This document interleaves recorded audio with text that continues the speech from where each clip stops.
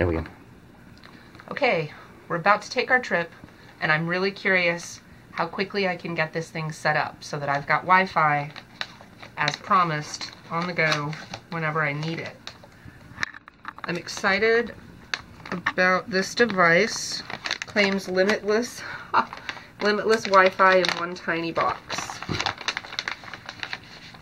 Alright, nice little felt case.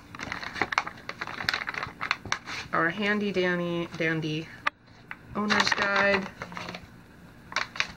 And then our power cord.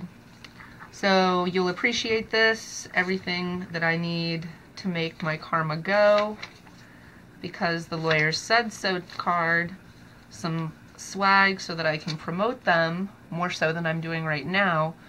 Um, it says that I should press and hold the white power button.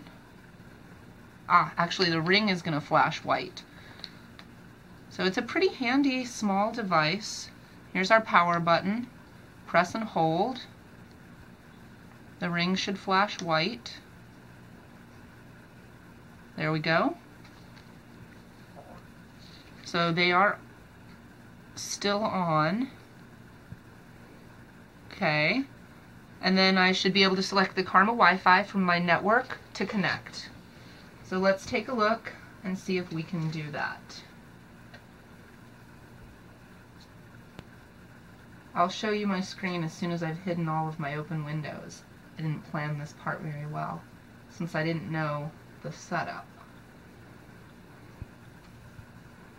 Okay, so from our home Wi-Fi, Karma Wi-Fi, as promised.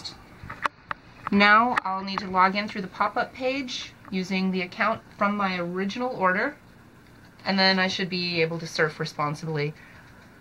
I must admit that's kind of stupidly easy. So I'm going to hide this so you guys don't have my email address. Not that you couldn't find it, stalker. Let's see if I remembered my password.